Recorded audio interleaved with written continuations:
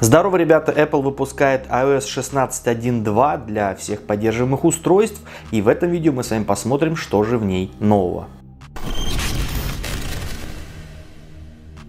Размер прошивки для iPhone 13 Pro Max составляет 275 мегабайт. Для вашего устройства размер может быть другим. Версия этой прошивки доступна для всех актуальных устройств. Напомню, iPhone SE второго поколения, а также от iPhone 8 и выше. Примечательно то, что Apple выпустил только iOS 16.1.2 для iPhone, iPadOS 16.1.2 не было и также не было новой версии для WatchOS. Ну а теперь давайте посмотрим номер сборки. На этот раз он маркируется как 20B110. Скорее всего это последняя прошивка перед большим обновлением iOS 16.2. Если у вас сейчас установлена iOS 16.2 для разработчиков или для публичного бета-тестирования, то естественно iOS 16.1.2 вам не будет доступна, так как это более низкая версия. Ну а теперь давайте говорить про нововведение. Несмотря на то, что прошивка модема в этой версии не обновилась, Apple улучшила работу беспроводных данных с операторами сотовой связи. Если у вас 4G или 5G работало с проблемами,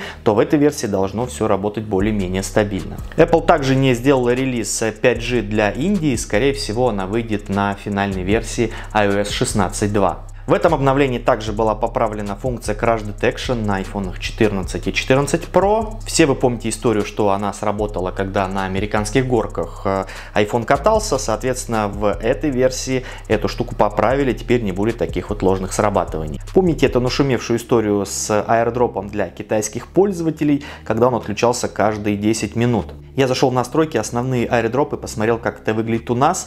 С этим обновлением у нас нет никаких ограничений. Собственно, все осталось на том же уровне. Но это касается пользователей из России. Не знаю, как в других регионах. Также есть информация, что Wi-Fi стал более стабильно работать. На предыдущих версиях люди жаловались, что Wi-Fi у них периодически в фоне отваливался и переключался на LTE либо на 3G. В этой версии вроде как Wi-Fi стал работать более стабильно. Но опять же, это нужно все проверять со временем. Когда вы вызываете пункт управления, иконки умного дома, в моем случае это два Apple TV, они как бы не сразу появляются в этом пункте управления. Не знаю, с чем это связано. Это длится уже уже с релизной версии iOS 16.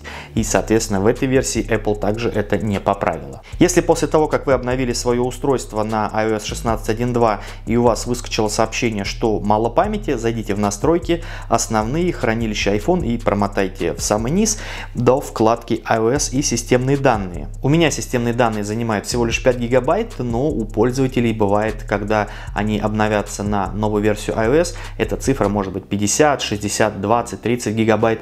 Подождите полдня, день-два и системные данные станут гораздо меньше. Если вы перейдете по ссылке, которая указана в релиз ноуде, то вас перебросит на сайт Apple Security Update и здесь есть iOS 16.1.2, но самое интересное здесь не написано, а, что конкретно она меняет. Написано только то, что доступно для iPhone 8 и выше и дата 30 ноября 2022 года вышла. Очень интересно, они выпускают заплатку безопасности, но при этом не говорят, что они по поправили. Теперь давайте поговорим про производительность и время работы от аккумулятора. Самое важное, хочу сказать, что время работы аккумулятора зависит от того, как вы используете свой телефон. В этой версии я не заметил, опять же, никаких изменений. Телефон э, при съемке этого видео разряжался точно так же, как и при съемке других видео, поэтому у меня предположение, что не хуже, не лучше эта версия работать в плане батарейки не будет. Она останется точно на таком же уровне, уровне, как и iOS 16.1.1.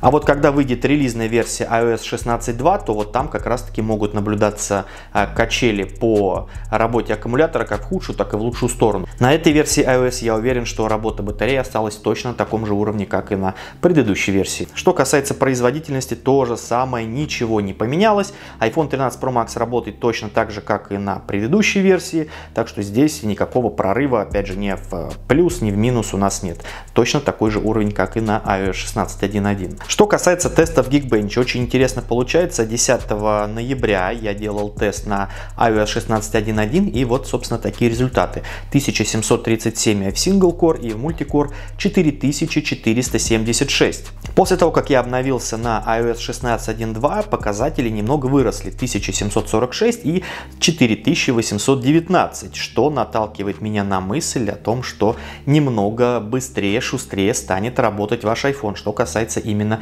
производительности. Давайте поговорим немножко про iOS 16.2. Бета следующая и последняя, скорее всего, выйдет на следующей неделе. А вот что касается релиза, я думаю, что он выйдет э, начиная с 12 по 16 декабря. Скорее всего, это будет именно так. Стоит ли сейчас обновляться на iOS 16.1.2? Я скажу, что да. Если у вас стоит iOS 16.1, то смело обновляйтесь, так как это очередная заплатка безопасности, которая улучшает работу системы в целом. Соответственно, вы видели то, что показывает нам тест Geekbench. Производительность телефона стала выше, поэтому я рекомендую всем устанавливать, у кого стоит iOS 16.1.1. Если у вас, например, 15.7 или 16 версия, то лучше подождите, когда выйдет финальная версия iOS 16.2. Обязательно подпишитесь на канал, чтобы не пропустить новые видео. Также обязательно подпишитесь на Telegram, там много всего интересного. Я буду с вами прощаться. Дальше больше. Всем здоровья и пока.